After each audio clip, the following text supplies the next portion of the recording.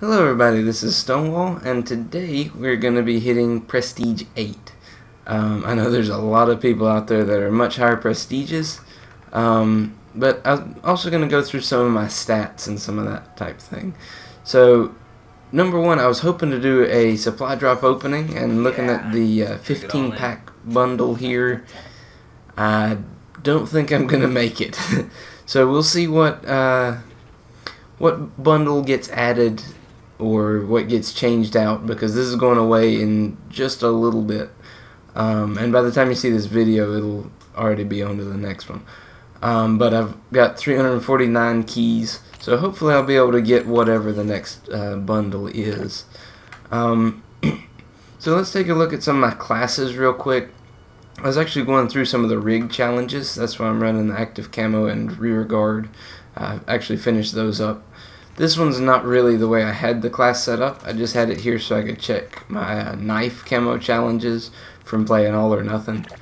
Um, but the R3K, and I've been playing a lot of the tactical modes to get my headshots. That's one of the best tips I could give for getting your headshot challenges. The HVR Gemini, this is kind of my counter streak class. Uh, blind eye, cold blooded, engineer, and hardwired uh, and counter equipment, of course. Uh, running the P-Law, I've actually already got the uh, the Spartan Gold. Um, and the HVR Gemini I'm running because I'm very close on getting my slide kills. I need another 18 here. Um, so next is the Mauler. I'm working on headshots on. I'm getting pretty close on it. I need uh, 31 headshots uh, some double kills, and then I'll need uh, three kills without dying uh, 20 times to get that one gold. Um, I've actually already got the, uh, which one was it? The Raw. I've got the Raw gold, and I've got a class set up for the Titan. Um, the DCM8 or Decimate, uh, just got double kills, kills without dying, and slide kills left. So that one's kind of close. I recently prestiged it, so it's only level 3. That's why it's kind of a perk heavy class right now instead of attachments. Um, and the KBS longbow I run every now and then. Uh, kind of need to, whenever I start working on the sniper rifle challenges, I'll probably get really back into sniping. Uh, if I don't do it for a while, it it's just like if I didn't play at all for a while. Uh, it just goes away. Um, the Volk I'm working on headshots for. Uh, I've already got the NV4 and the Type 2, and I think I actually just finished up the K-Bar uh, just the other day. So I'm getting close to the uh, assault rifles, a little over halfway, so 3 out of 5 there. Um, then the Karma, I've got kills without dying and slide kills.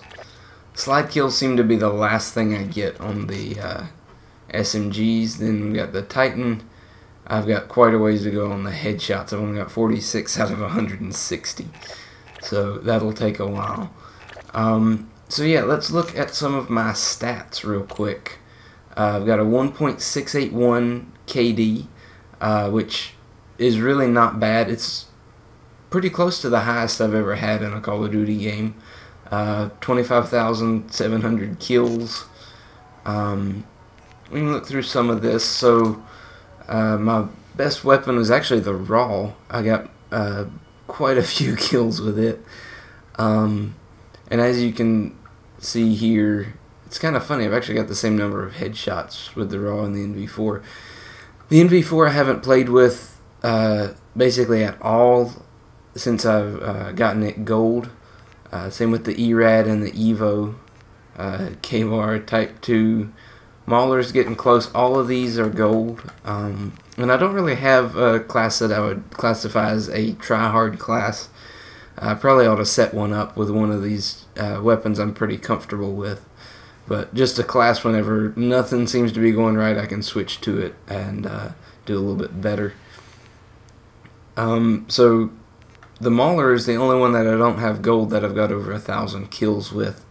And I think part of that is the number of shots it takes to kill. I don't really focus on the head as much because if I do, I'm by the time I would get the kill shots in, I would be over their head. Um, then the R3K, Banshee. The shotguns for me are some of the easiest to get gold. Uh, the S Ravage down here has only got 560 kills, and I've got it gold. Uh, Rack 9 is about the same. Reaver has only got 515, and I've got it gold. The DCM-8 is the only shotgun I don't have gold. Um, and it's down here only about 400 kills. There's a few guns I really don't have many kills with, uh, and as you can see down here, the axe especially. Um, the Hornet and the TF-141 I haven't unlocked yet. I actually have a uh, unlocked token for a classic weapon, and I was just debating on which one to use it on. Uh, I haven't really been working on the snipers much or the pistols, so it's it's one of those I'm not sure about. And I've only got three with the axe, and I think that's from uh, playing Epic Gun Game. So my best rig is FTL, and partly because running shotguns and that kind of thing, and running FTL jump uh, to get you in close really quick.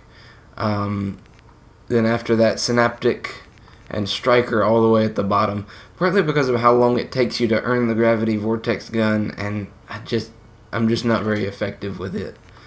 Um, and most of this stuff's pretty standard, best lethal.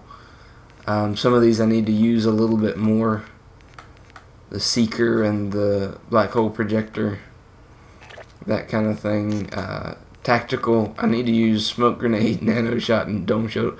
It's funny, the dome shield is something that's pretty new for Call of Duty, but uh, I haven't used it at all. I think I might have used it in the beta. of course, UAV is the most used support streak, and Scorchers, partly because of the preset, uh, this preset score streak setup.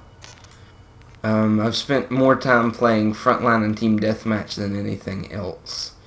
Um, but I've got higher KDs than some of the others. Kind of interesting.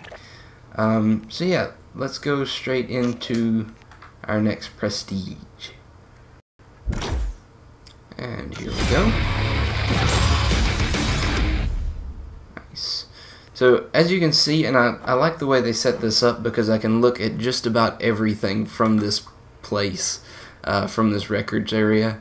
I can look at all my mission teams.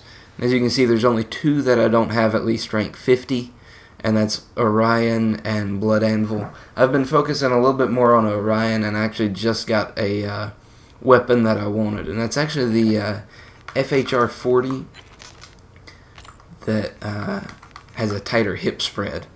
Since I'm working on the hip fire kills with this one, uh, I'm actually really close there.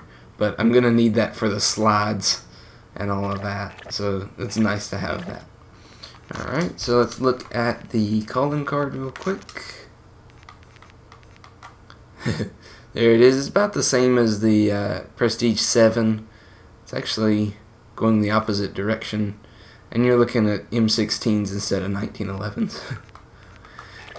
so, anyways, I thought I'd just share some of my stats there. They're not they're not anywhere near professional stats or anything like that. Um, but I'm feel pretty good about them. So, anyways, this is Stonewall signing off, and I'll see you in another video.